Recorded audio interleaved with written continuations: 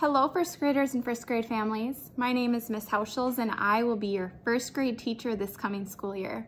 I cannot wait to get back to learning and teaching in the classroom and to be with all of you guys. On Monday when you come, make sure you bring your mask.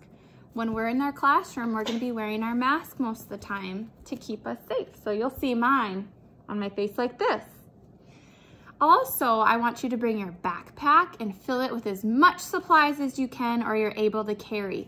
But for sure, make sure you bring supplies like your markers and your crayons and your scissors and glue and all of your folders.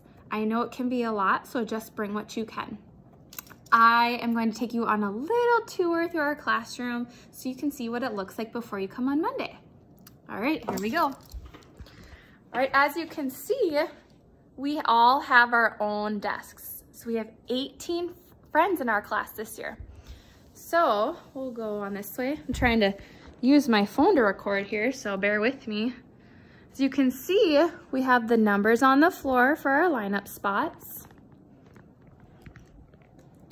We have tons of awesome reading materials so lots of books to read that haven't been used in a long time since we did learning at home.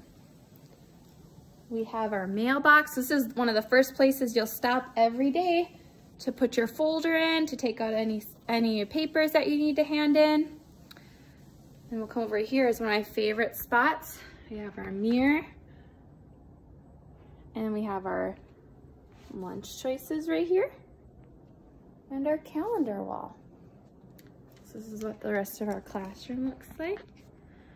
I'm gonna show you what the outside of our room looks like as well.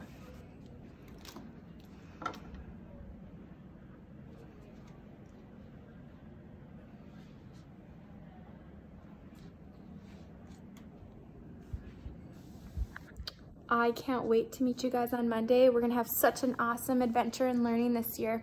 Have a great weekend, guys.